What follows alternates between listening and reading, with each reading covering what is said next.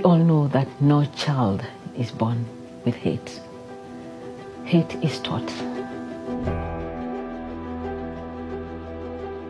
We must pay attention to hate speech, what it can do, its capacity to completely destroy, its capacity to completely dehumanize.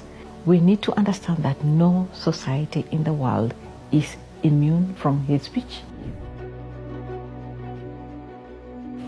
I've just come back from Cox's Bazar in Bangladesh and I spent a lot of time among the Rohingya people.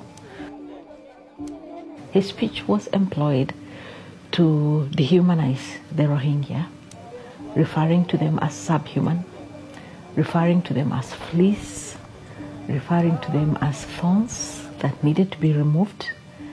And ultimately, that is precisely what happened.